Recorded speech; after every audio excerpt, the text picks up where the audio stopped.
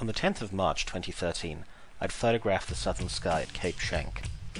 This video illustrates my workflow to take an astrophotograph from straight out of camera to a final processed photograph.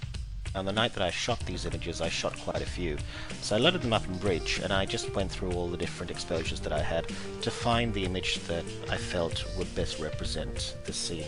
And I finally found this particular image with a streak that really sang to me. I just double checked and made sure that there wasn't something that would work better, but at the end of the day I pretty much ascertained that that was the image that I wanted to work with. So once I ascertained which one it was, I went ahead and loaded it into Camera Raw. I then applied a little bit of lens correction and removed any chromatic aberration that might have occurred as a result of the use of the lens. I then had to make an artistic decision about my choice of white balance.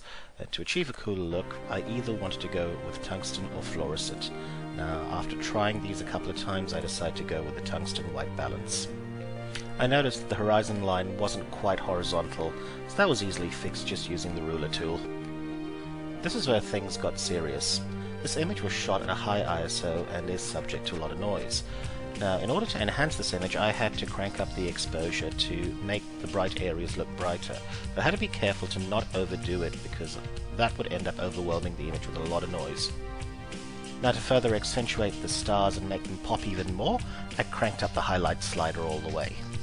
Now, the exposure and highlight slider certainly made the stars pop out, but in order to even further enhance them, I pulled back on the shadow slider, and this would also take out a fair bit of noise that was in the shadows. I applied a basic white point correction, nothing overwhelming, just a plus 35 on the white point slider. I similarly applied a black point correction of plus 25. I then cranked up the clarity, vibrance and saturation of the image. I used the values of 50, 5 and 5 respectively. I then applied a graduated filter to this image, running from the bottom to the top.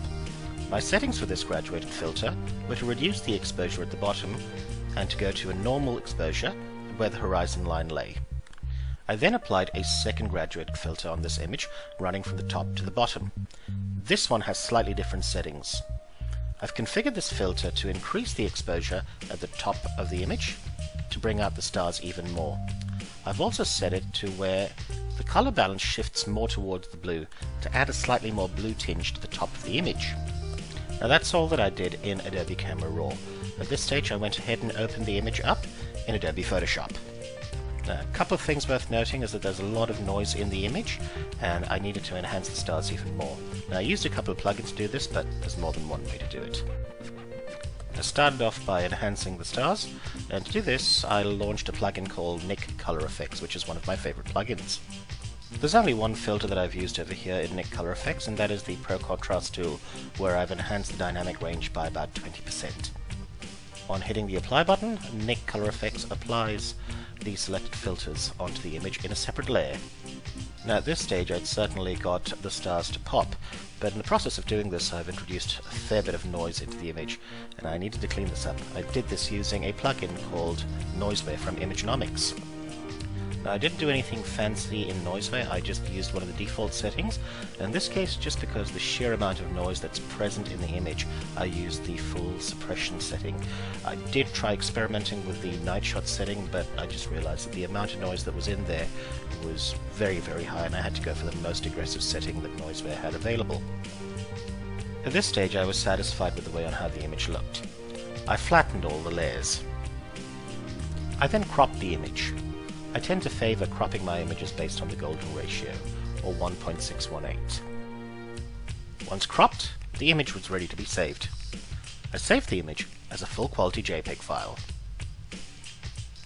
So there you have it, a complete start to finish workflow on how to take an astrophotograph from straight out of camera to a finished photograph. There's more than one way to do it. This is just the way on how I do it.